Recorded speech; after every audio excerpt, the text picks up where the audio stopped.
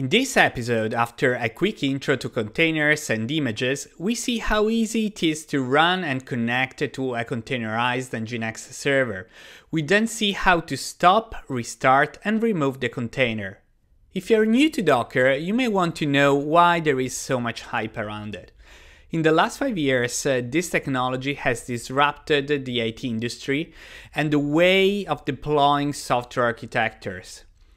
Docker and containers technology in general solves many problems for both developers and sysadmins. In short, with Docker we can package our application dependencies and binaries in what is called uh, a Docker image, and we can use it across multiple environments without having to manage any dependency. We run our applications in Docker containers. They run isolated and they can run different versions uh, of the same application on the same machine, like two different versions of Nginx or Postgres, for example. If you haven't installed the Docker yet, it's really easy. In the resources section, you find the sites where you can download the Docker for Windows, uh, Mac and Linux. It's now time to start our container. We use the docker command, passing the container argument uh, run and passing an option I'm going to describe in a second, p 8080 Nginx. So Nginx is the image of the service we want to run. To understand this option, we need to consider that inside the container, the Nginx server opens the port 80. Containers are isolated and we can't connect directly to all the container ports. Instead, we need to use the P option, which is a shortcut for publish, uh, and uh, uh, publish uh, a specific port.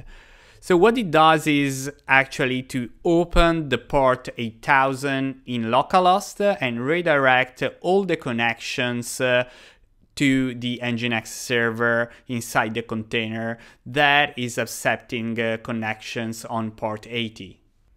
Great, so let's press enter and open a browser.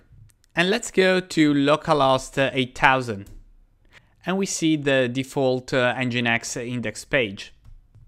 We also see that here on our terminal, the uh, logs. So what Docker does is to redirect to our terminal uh, the logs, so the standard error and standard output of uh, the uh, Nginx application. To stop the container, we can use uh, the Control uh, C uh, keyboard combination or we can use another terminal. Uh, so to list the containers, uh, we use ls command here. We see that our container has an ID and a randomly assigned uh, name. We can use both uh, for uh, to refer to, to the container. So to stop the container, we use docker container stop and the container ID. We see that doing a docker container ls, uh, the container is not here anymore. And uh, if we do ls uh, a, which is means all, we see the container uh, that with the status uh, exited. So the normal ls command lists the active, uh, the running containers.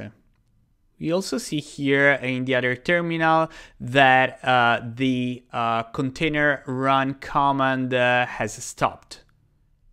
Let's clear the terminal and start again the container with the command docker container start and ID of our container.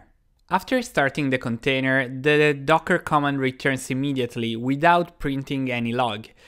To be able to see the log, we can use the logs command. So docker container logs and the ID of our container.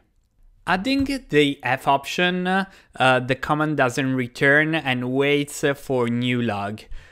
We can see that if we go and we do multiple requests to localhost 8000, and we see that new logs is printed. Let's press Ctrl C to exit uh, from the log command. And to remove our container, we need at first uh, to stop it. So we see that our container is still running. So we stop it.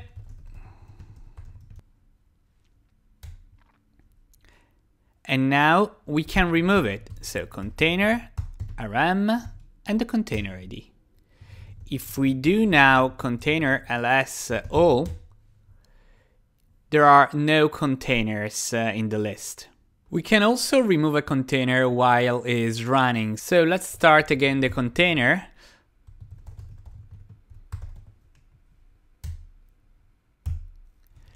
And uh, use the other terminal to do a docker container rm for f for force. So it's like doing force f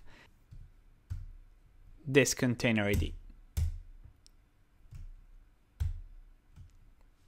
we see that the uh, here the command is stopped and if we do docker container ls uh, all the container uh, is uh, uh, correctly removed. If you want to stay updated with new screencasts about Docker and software architectures, subscribe to the newsletter using the form below and subscribe to the YouTube channel.